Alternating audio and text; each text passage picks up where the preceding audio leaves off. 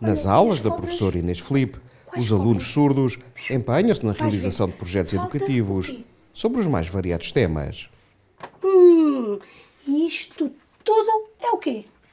É a América. Então, então o Brasil é onde? É dentro do quê? Da América, muito bem, já percebeste? Na disciplina de estudo do meio, do terceiro e quarto anos, o Leandro está focado nos países da Europa e do mundo. A Matilde interessa o sistema solar. Para a Antónia, os rios de Portugal. É através dos projetos que a professora aumenta a motivação e o empenho dos alunos. Os meninos hum, gostam de estar ativos e precisam de estar ativos, e esta forma, de facto, é uma forma de pormos em prática a diferenciação pedagógica, não é? Que é respeitamos os interesses de cada um, os ritmos de cada um, uh, e eles aprendem na mesma o programa. E isto é muito mais, muito mais motivador. As aulas decorrem com o apoio de Sandra Santos, professora de língua gestual portuguesa. A Manuel Ferreira Patrício, em Évora, é uma escola de referência para a educação bilingue de alunos surdos. São meninos filhos de pais ouvintes que vivem em comunidades ouvintes e, portanto, não têm acesso à língua gestual portuguesa senão quando chegam à escola ou ao jardim de infância. Portanto, precisam de aprender aqui a língua gestual e, simultaneamente, aprendem também o português escrito e, eventualmente, falado, aqueles que conseguem, de facto, uh, chegar à fala.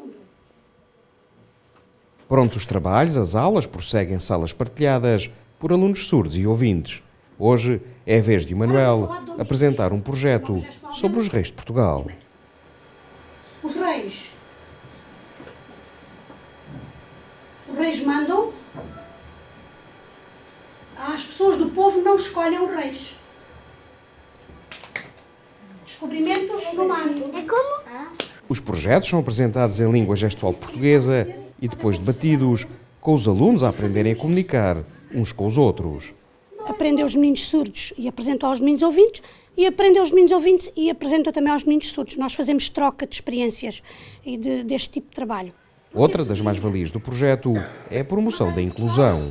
Eles acabam por surdos e ouvintes estarem pouco tempo juntos, porque afinal juntam-se quando? Nos intervalos, nas horas de almoço, nas saídas ao exterior, quando fazemos uh, visitas de estudo, quando desenvolvemos alguns projetos de exterior, mas é pouco tempo para que eles possam, de facto, criar uh, convivência entre eles, criar amizades, uh, criar afinidades, criar empatia e poderem, de facto, comunicar uns com os outros.